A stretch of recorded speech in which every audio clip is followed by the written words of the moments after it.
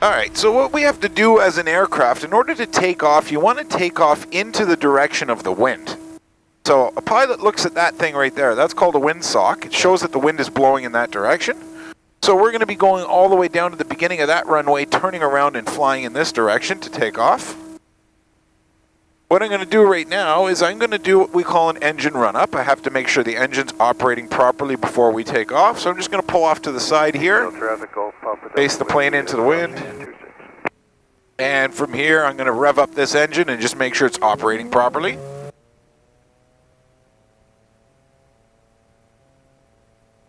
Right, now I'm just watching that tachometer right there. We're at 4,000 RPM, and I'm just shutting off parts of the engine to see how it operates. And it's working perfectly. Nice. Now, if you do have any questions, please question away. Uh, I'll start talking you through this stuff when we get up in the air. Okay.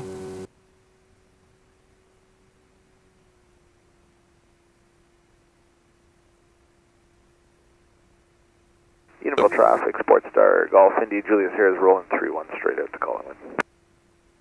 So we're just going to wait for him to take off. Once he passes us, we're going to go and start that way. Um, a couple of things here. In an airplane, this is how we know how fast we're going. This is our airspeed indicator. Okay. Similar to a speedometer, but it tells us the speed that the air is traveling over the wing. Right now it's at zero. The other thing is this is our altimeter. tells us how high above sea level we are. So I'm just going to make an announcement here. Edenvale traffic, Juliet Kilo Yankees on the back track, 3-1. So if you notice, it says we're already at 720 feet. Yeah. So that's because this airport is 720 feet above sea level.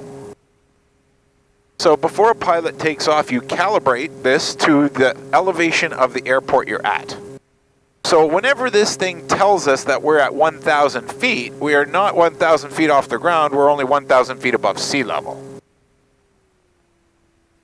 So for the beginning of our flight today, we'll take this thing up to maybe 2,000 feet above sea level, which is around 13, 1,400 feet over the ground. Um, we'll leave the vicinity of the airport, and then I'll start walking you through how to control this thing.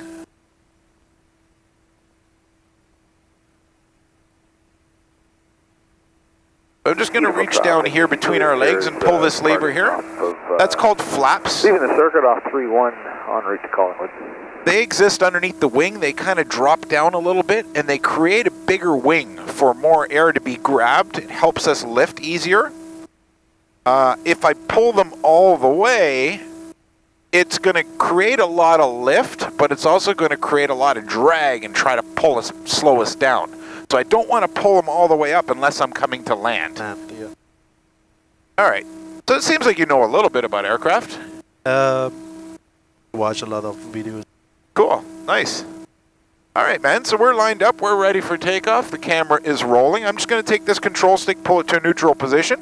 For the beginning of the flight, just stay away from the stick. I'm going to get us to a safe area, and then I'm going to get you on it, okay? Sure. Edenvale traffic, Juliet Kilo Yankees on the roll, 3-1 straight out departure, climbing to 2,000 feet. All right, so this is my throttle here. I'm going to squeeze and unlock it, and I'm going to press it all the way in. There we go. And I'm just kind of steering the plane right now with my feet. Steering the, the back of the rudders with my feet, and we're off the ground. Simple as that.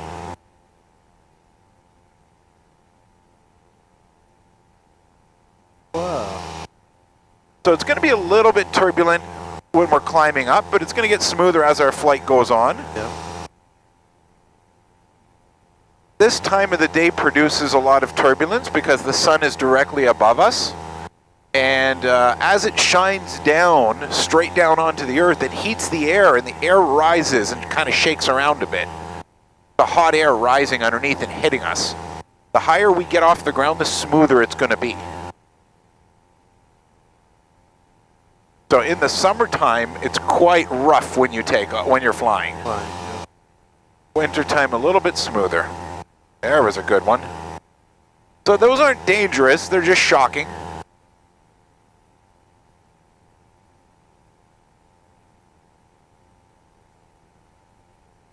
Wow, beautiful. Uh, right now we're about 800 feet over the ground and climbing. Once it gets to 1,700, that means we're 1,000 feet over the ground. Approaching altitude.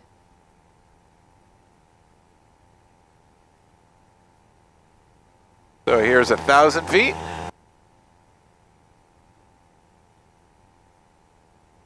Leaving altitude.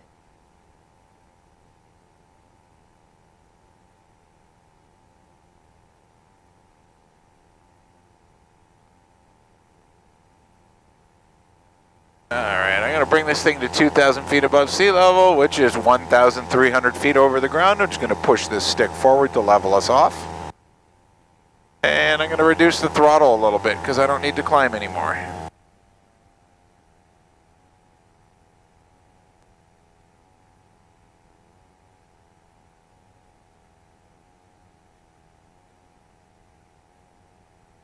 All right. So the next thing I'm going to do is I'm just going to announce to the airport we left at, just let them know we're leaving their area so they don't have to worry about looking for us. Yep. Edenvale traffic, Juliet Kilo Yankee, four miles north of the field, departing the zone, 2,000 feet. Uh, just joining mid left downwind for 31 Collingwood. Okay, man, so we're high above the Wasaga Beach, uh, Collingwood area. Uh, we have options on which way you, you're going to want to go during your flight today. Right over here is the city or town of Wasaga Beach. Over there is Collingwood Blue Mountain. You can see the ski hills there. Um, the direction over there is Barrie. Uh, geez, you can go in any direction. Uh, I think we're going to have to climb a bit higher to get away from this bumpiness. You're not going to like driving in that. So you control the plane mostly by this control stick. The feet also are responsible for controlling, but I'll show you that a little bit later. I will get you playing with the stick first. I'm just adding a little bit of power to help us climb. Kind of just looking around for other airplanes. I don't want to fly too close to somebody else.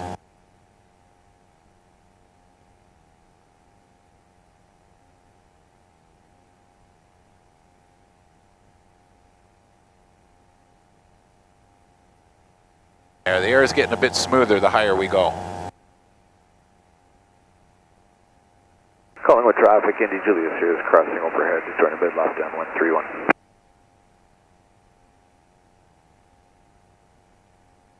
All right, Cam, let me show you a few things how to work this thing. Yep. All right, so you can take this stick with whatever hand you want. You can decide.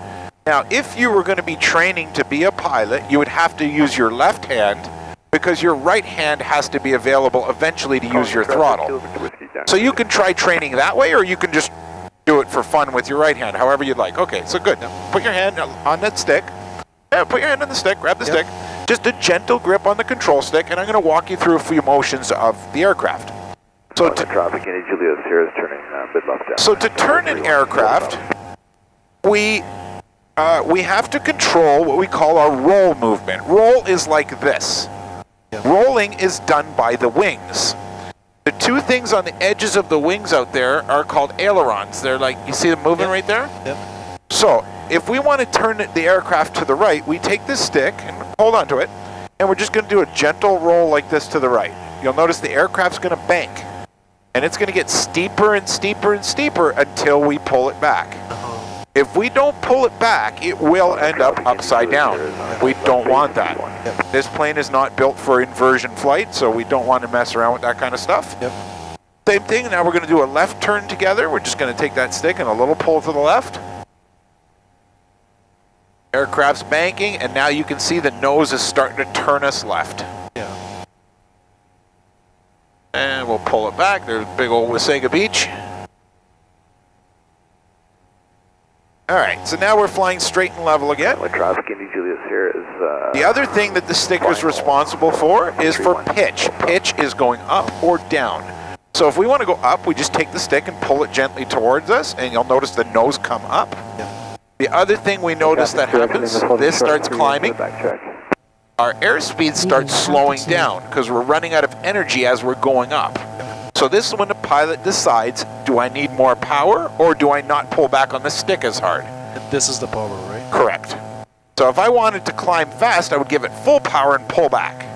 But you don't want it to go any slower than Traffic 60. Elking Taisha is currently 5 miles uh, north of or like 3,500 eastbound of Muskoka. So 60 is the safety speed in this aircraft. I don't like going slower than it unless we're doing serious training. Yep. Uh, because if you go too slow in a plane, you end up doing what they call a stall. A stall means there's no more air traveling over the wings and the plane begins to fall like a brick. There's ways to get out of it, of course, and that's what we train how to do, but it's a dangerous procedure nonetheless. Yep. So we stay away from it when possible. All right, so now we're flying at 2,800 feet. We're roughly 2,000 feet over the ground. Uh, directly in front of us that way is the city of Midland and Penetanguishene. Yep. Just giving you an idea where we're at. And if we wanted to descend, all we do is take this nose and push it down. You'll notice that you can see the ground coming towards us. Yep. You can start feeling a little bit more vibration in the aircraft because it's picking up speed. And you can see that we're in a descent. It's starting to drop.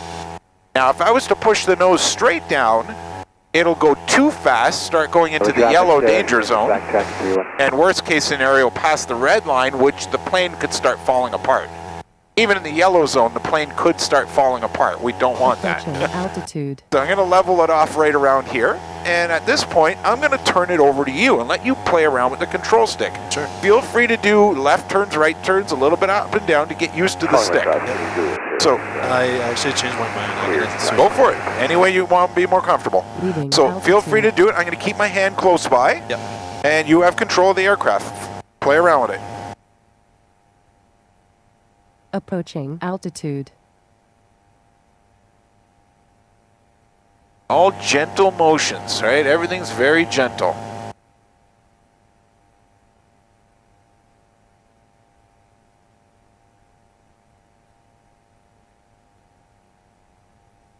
So what you're feeling there is just a little bit of turbulence.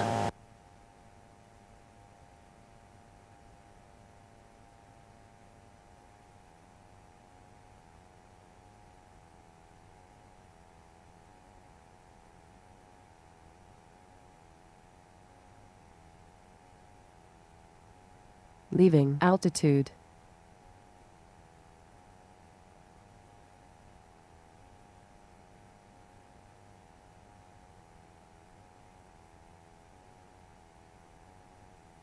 Collingwood Unicom radio check please. Call Uniform Bravo Bravo. Very nice. Just very gentle, gentle on the control stick. Point it where you want it to go.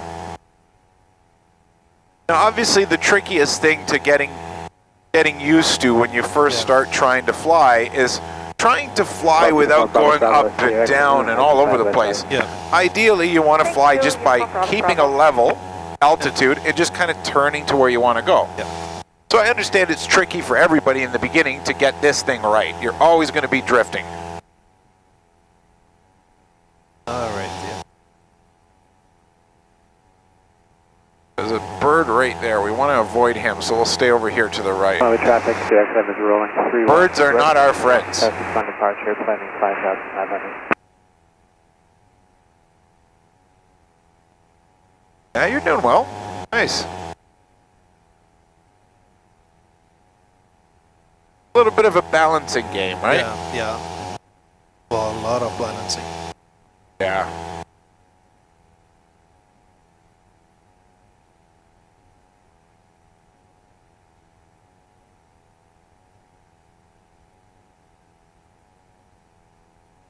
Leaving altitude. So you're gradually descending and going down.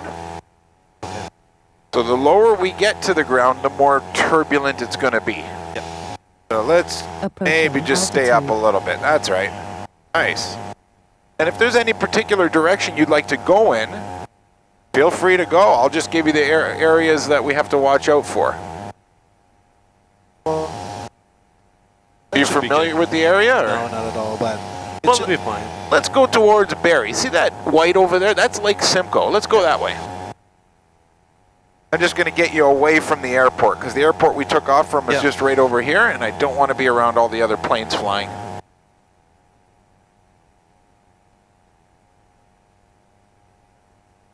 Leaving altitude. You're controlling it nice and smooth. That's a good thing.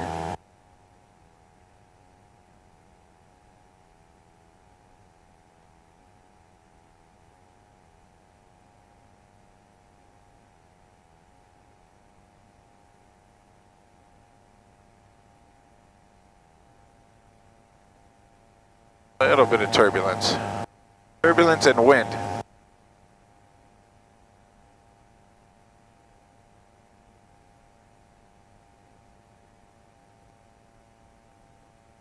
So we have to stay. Well, you're s- you're climbing, so it's slowing down. Yeah, as long as the plane's not going slower than 60, we're okay. Once you start going below 60, then some troubles can start happening.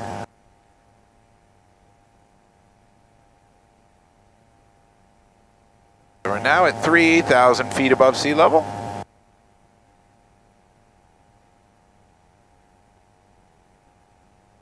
So try to level off here at 3,000 feet and just try to keep it at 3. Yep.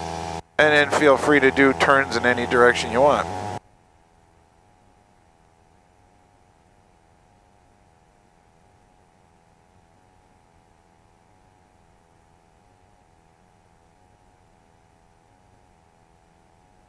How far did you have to drive from today? Came from Richmond Hill. Oh, that's not bad. Yeah. An hour? Hour and 10 minutes or so? Yeah, exactly.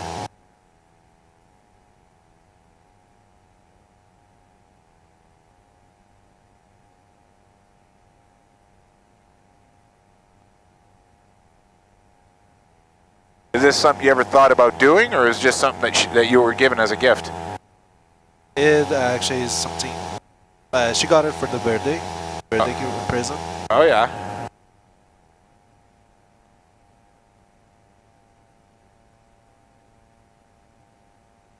Oh, it's really difficult to, to balance it out. Yeah, it is. It takes it takes a few hours to really get the hang of straight and level flying.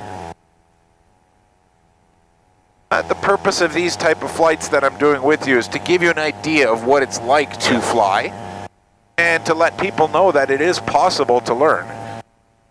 This type of aircraft takes about 25 hours of flight training to learn how to fly, to get your license in. It's about $4,500 to get a license to fly these two-seaters like this.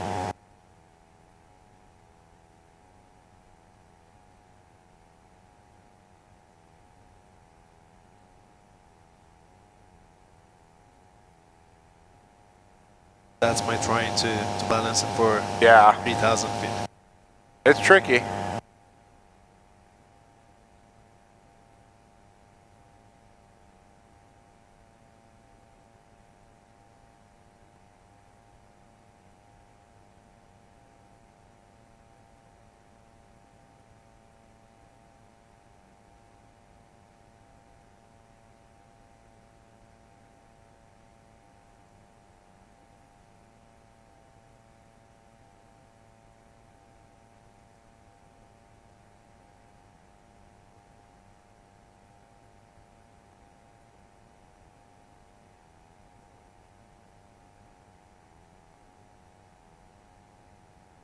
Kind of, what you're fighting a little bit is a little bit of winds kind of blowing us every which way. You're doing really well, Okay, it's actually. not me then. No, no, you're doing well.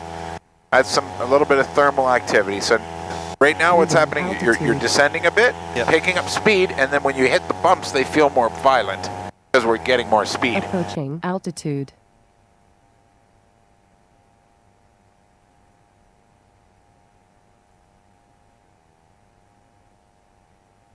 Right, Central traffic, Golf Golf Uniform Mike, uh, simulated engine failure from the circuit on runway 28.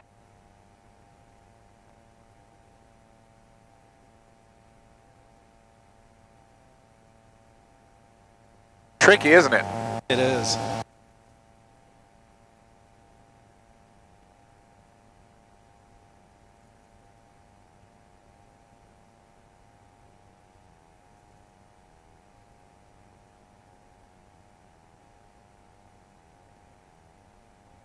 To balance everything on Yeah, speed and that's right. So another instrument that Traffic, Golf Golf Uniform Another instrument that we have that we can look at to give us an idea if the plane is climbing or descending is this one right here. This is called vertical speed indicator. Yeah. If the needle is on the zero, we're at level. We're And, flying Peterborough level. Unicom, uh, it's uh, Global Express, Bombardier 35, 6.3 descending. So right there, it shows that we're climbing, We're, uh, but your nose is down, so that means the from heat is lifting us. It takes a while to get used to that kind uh, of stuff. In uh, 12 minutes. What I would recommend for your first time flying is try not to even look much at this. Just look outside and fly with the stick. I'll watch that stuff to keep you safe, and the best way to learn is by seeing what's going on with the horizon and the ground, Yeah. right? Bombardier 355, roger.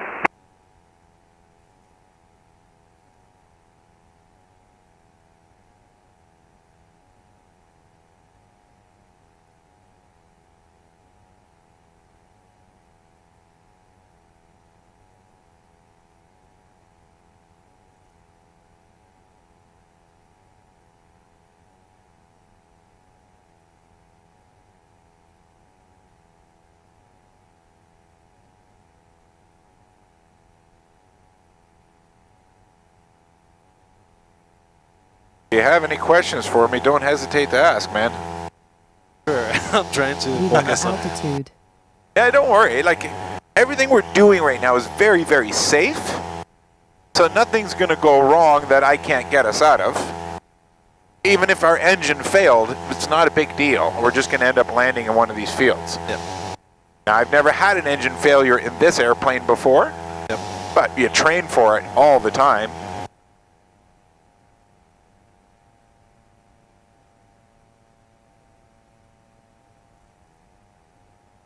So I can show you now what the pedals do. Yep, sure. So might as well take your feet, and you'll notice there's two pedals down there. Just put your feet forward like mine are. Uh, yeah, put them straight up. That's right. Yep. And right up there. The pedals control the back of the plane called the rudder that goes Yeah. like this.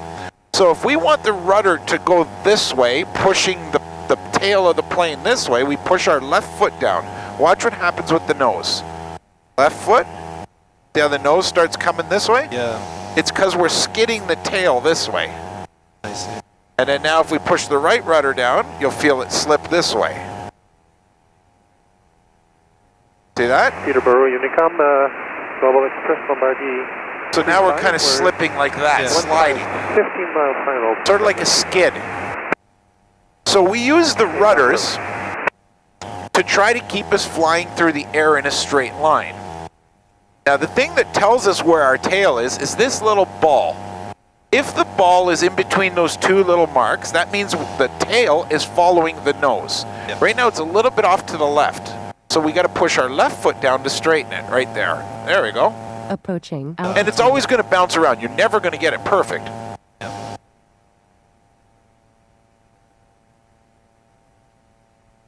So we're getting a little bit close to the airport we took off from. That's right over here. So maybe we'll go back that way. We have to go this Yeah, way. anyway, yeah, sure. Take a turn to the right. I just don't want to be too close.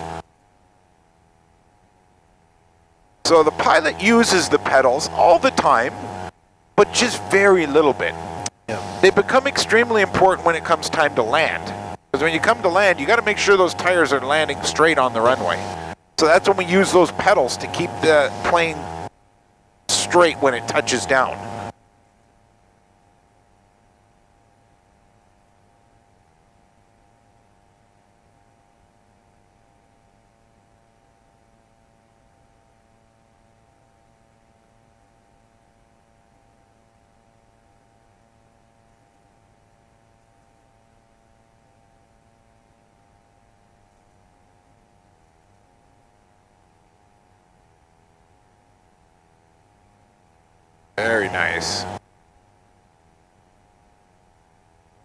So right now you probably think we're moving very slow, but we're actually moving pretty quick. We're doing about 90 knots, which is around 170 kilometers an hour.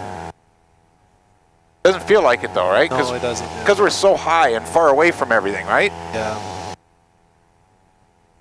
But it's a real quick way to get around and get places.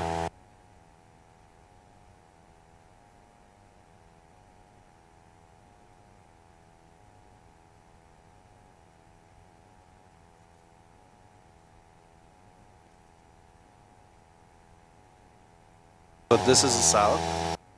This way would be east. Yes. That way would be south.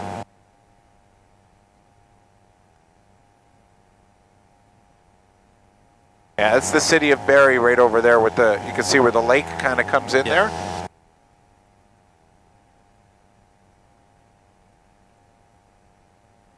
Even off in the distance, if you look this way and just kind of really study the horizon, Yeah. you can see the Toronto city skyline a bit. You can see a couple of buildings sticking up, but they're very, very faint. If you got good vision, you'll see oh it. yeah, they are. Yeah. Yeah. So usually to, for me to fly to Toronto from here is about 40 minutes to get downtown to the island airport.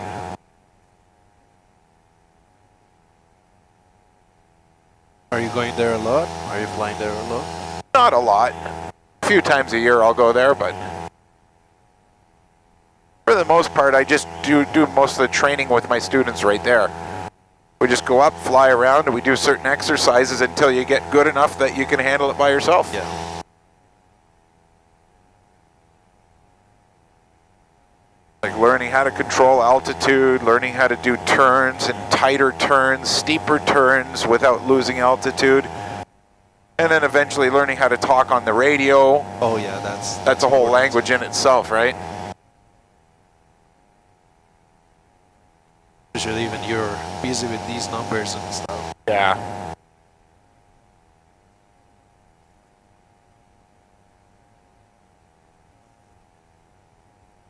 Peterborough Unicom, uh, Global uh, Bombardier 35, 4 mile final, runway 27 uh, for a landing. That's another ski resort there. Small little one.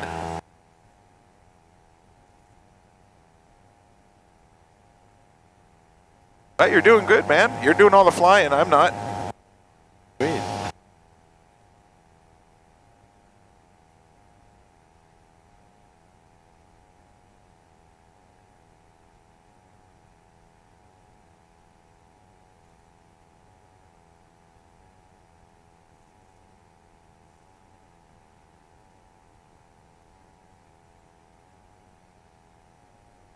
Yeah, that's a good one. Yeah.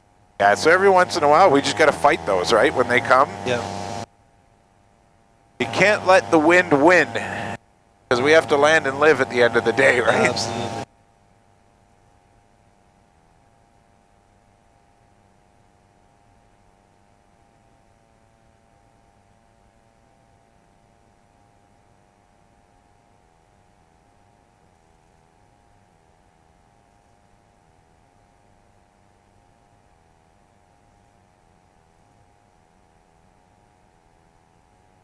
Any questions for me at all yet? Um, no, not really. Okay.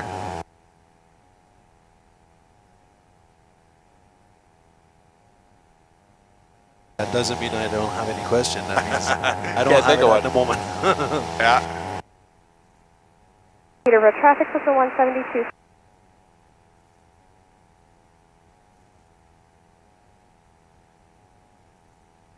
Even from here, if you look at the horizon over here, you'll see little tiny sticks sticking up.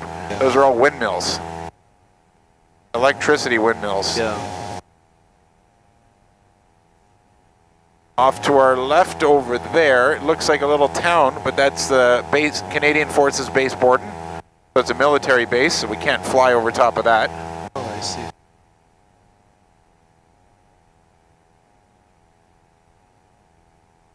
Some days it's pretty neat when you're flying around this area and they're they're doing tank training or whatnot. You'll see the explosions Wow. or hear it. You would even hear it sometimes up here.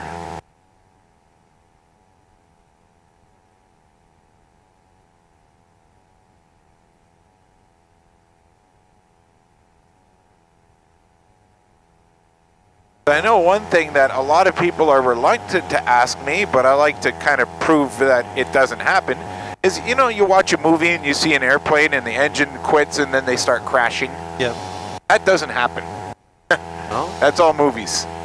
So, for instance, I, I can demonstrate for you what happens. I'm not going to shut the engine off, But I can demonstrate for you what happens if our engine was to stop working. Yeah. And all that becomes is this airplane no longer is an airplane, it becomes a glider. We just glide.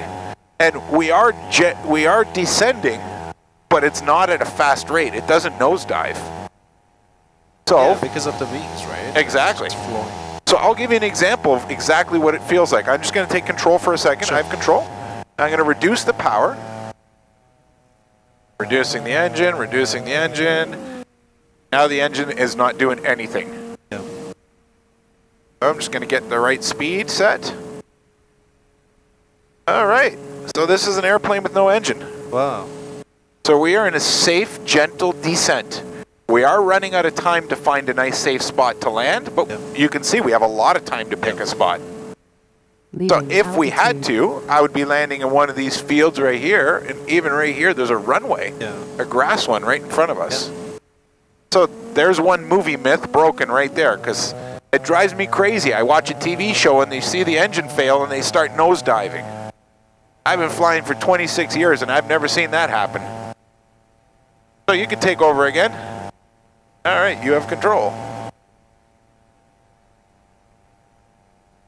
Yeah, the only thing that would cause a plane to nosedive would be structural failure of the plane. Like if you really beat it up, if it was shot up maybe, or if a cable broke that controls one of these surfaces Yeah. where it forces the nose down. But that is so damn rare. Put it this way, if I thought that that was a threat, I wouldn't be doing this.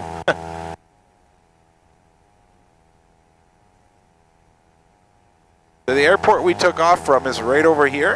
Yeah. We're okay, we're far enough away from it. I'm going to try to squeeze out as much time as I can for you. Thank you. So right now we're at, we're at a half hour.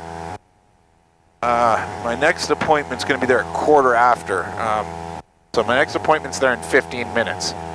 So I might be able to get you 45 minutes in the air, but there's... Leaving altitude. Dude, man, I didn't hear from you. I know, man. I'm, I'm so sorry, but uh, I I should have checked my emails. Well, the bonus is, is uh, you'll now have a produced video, so that's a good thing. And if you're okay with that, Approaching privacy-wise, it'll be on YouTube, and Sure. all your friends can see it.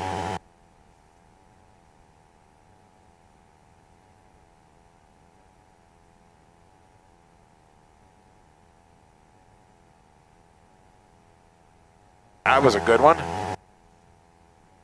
So in the summertime, those bumps that we're feeling Yeah. are 10 times worse. Wow.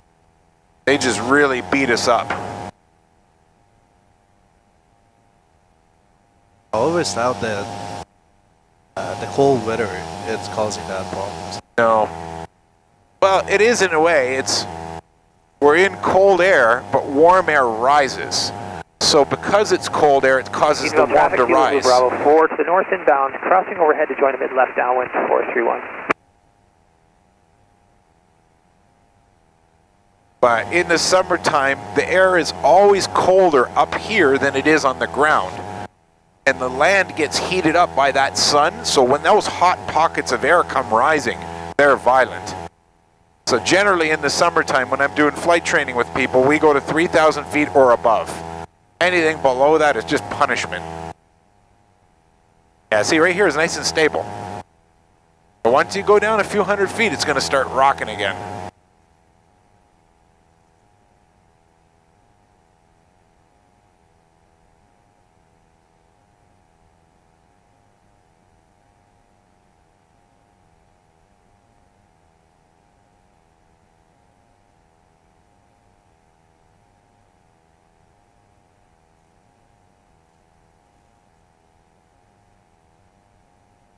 Yeah, see, you can handle doing this. Doing good, man. Thanks, man. I get that it's not for everybody. Some people get motion sickness, a little bit of air sickness. Uh, I used to get that in the beginning of flying. And um, I'm glad I trusted my flight instructor because he told me, just keep flying and it'll stop. I didn't believe him. I thought he was just trying to take my money. But eventually, it did stop. After six, seven hours of constant flight training, it went away. But in the beginning, I used to get very sick, like, oh, terrible. You doing okay like that? Like it doesn't bother you? traffic, Kilo Bravo coming up overhead the field, join a mid left downwind for 3-1.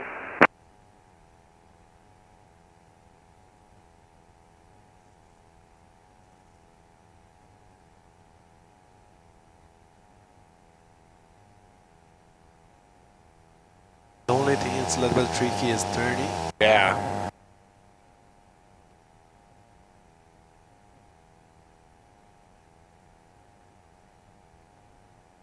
The airport is over there, right? Uh, no, it's actually there. That's a different one. There, there's a lot of airports in Ontario. Yeah, so that's Collingwood Airport, and the one we took off from is back there, Edenvale Airport. Leaving altitude.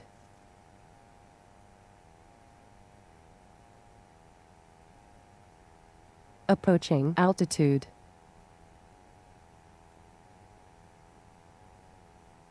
Edenvale traffic, Kilo Zulu Bravo established, mid left downwind 3-1.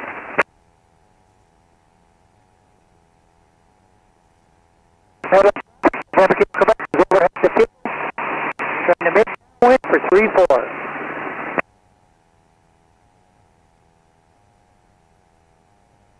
Uh, even another little small ski hill right in front of us there. You Yeah. can see the white.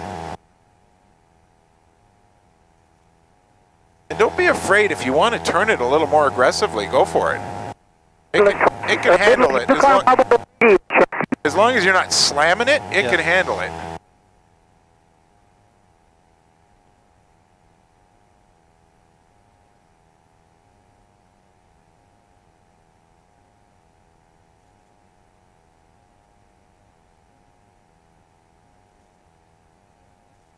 Nice.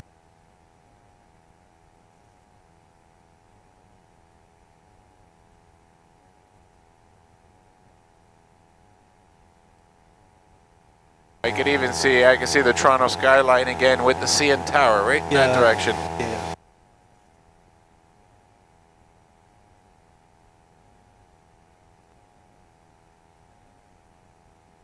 So we're going to have to start turning in the direction of the airport. Sure.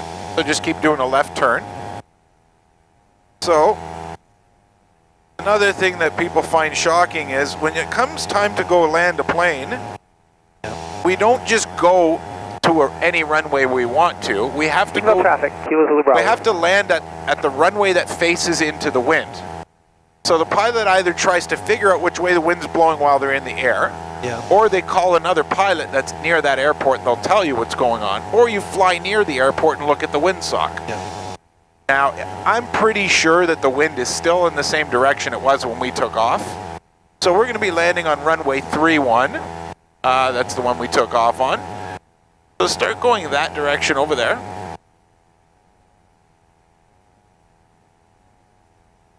A little bit more left, I'll get you pointed towards the airport. We'll actually point it towards the water over there. The white ice you see out there, we'll go right towards that. Now, in order to land a plane, we have to enter a procedure called the circuit. The circuit's an imaginary highway that exists above, the, above an airport. Altitude. We're going to be landing on the runway going this way, right? Yeah. This way. So when I look at this piece of paper here, that purple line, I know it's hard to see because you're steering, the purple line represents the runway. We're going to be landing this way. Uh-huh. We're out here flying. We have to fly like this and go like this, like this, and then land. Got it. Yep. So, in order to do that, we have to do it at a certain altitude. We can, we have to be a thousand feet over the ground. So, in order to do that, we're going to have to start descending now. So, you're going to have to start bringing the nose down, and we have to go to 1,700 feet and gradually take us there. I'm going to start reducing power and just fly in this direction. The airport we're going to be going to is over there, but this you want to keep going this way because eventually we're going to turn and go right Yeah. into this section called the downwind.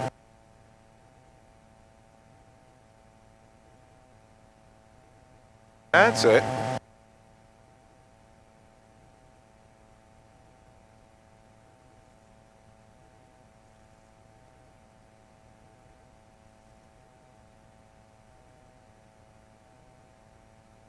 You're doing good though, man.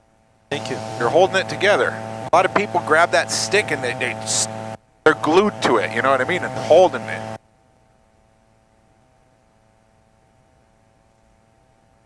So I'm going to make a radio announcement to the air traffic over there to let them know what we're up to. Sure.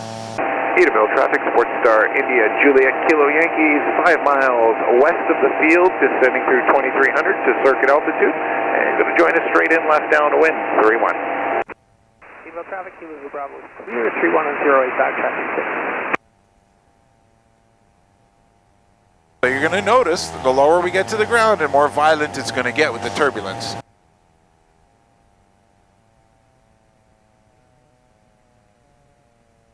I'm just slowing that engine down a lot.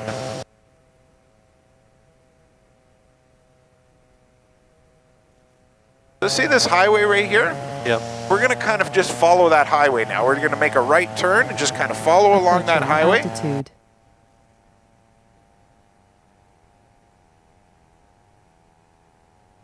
Might get a little tricky now that with all this turbulence Yeah. down here. So we don't want to go any lower than this. Okay.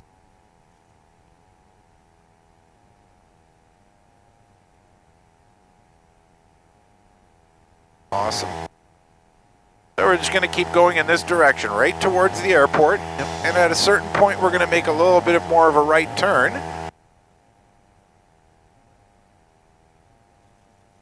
All right, we'll go nice and straight here.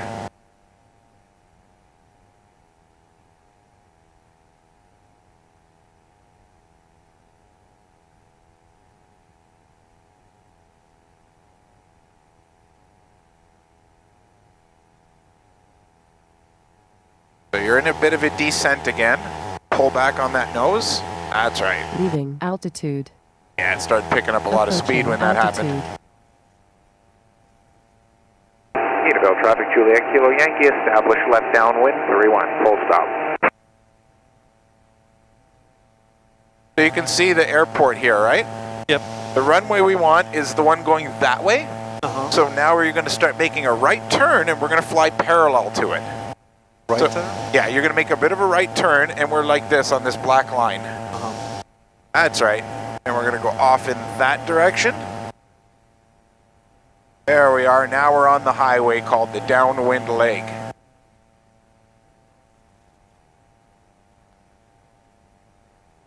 So this is where a pilot gets a chance to size up the airport. We're looking to see if there's any planes on the runway, any people, vehicles, animals, anything like that. We can also see the windsock is kind of pointing this way still.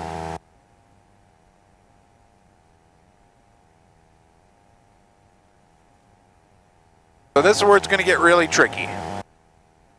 Because we have to make it sharp.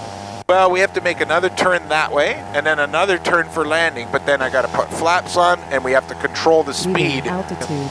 very precisely.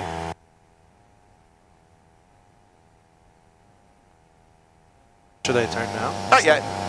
So right now we just passed the runway. We're going to wait till that runway's about 45 degrees behind us. Okay. So we'll just continue in this direction a bit more, and we'll pull that nose back just a bit. We want to get back up a little bit. Approaching altitude. All right, so right around here, we're going to make a left turn in that direction. Edenvale traffic, Juliet Kilo Yankees, turning uh, left base, 3-1.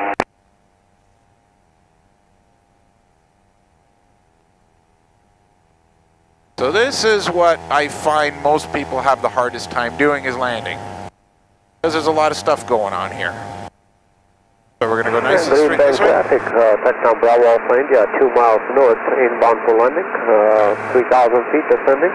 Nice. So enter straight in downwind 3 Say again? Should I let it go? No, you can hold on to it. You can hold on to it with me, okay? Okay. I'm just going to reduce power. I want to get this plane in that white area. That Yep. means it's safe for me to pull my flaps on. Yep. There we go. Flap one, flap number two. Now the nose is going to come down, and now we're in a nice descent with flaps. So I have to try to hold 65 knots for the entire duration of this flight. We're at 66, 65. I'm doing that with the stick. Yep. Edenvale traffic, Juliet Kilo Yankee, turning final, 3-1, full stop.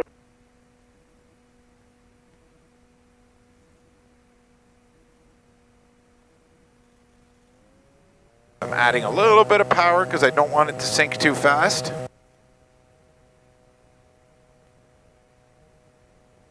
This is what they call final approach.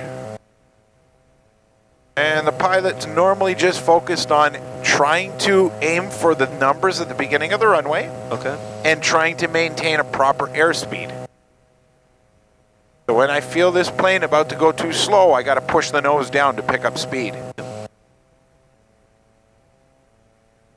There's some wind just picked us up there. See how it's lifting us? But I just got to fight it. Oh yeah, there's some real wind there. Right now I shut that engine off. It's not doing anything. Just letting us glide down. This is where my feet become very useful here. This is where we're going to start Yeah. pushing the rudders.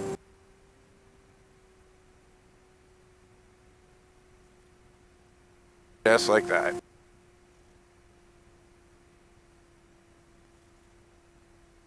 So you did well, man. Wow.